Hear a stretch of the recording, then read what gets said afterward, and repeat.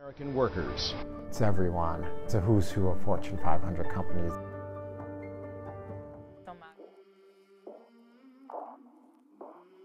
Here in Illinois, there's about 80,000 temp workers working in closed union shops. So there's an existing collective bargaining agreement, and temp labor is in the same shop working side by side our union members.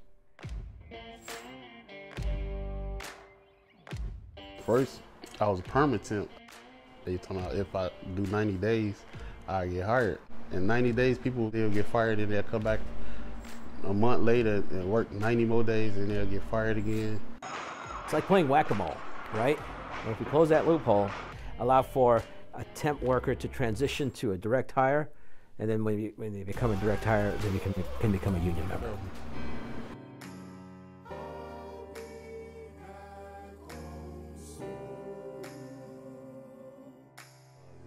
Sick days, vacation, holiday, cost of living raise, all this good stuff that you get, you should come aboard.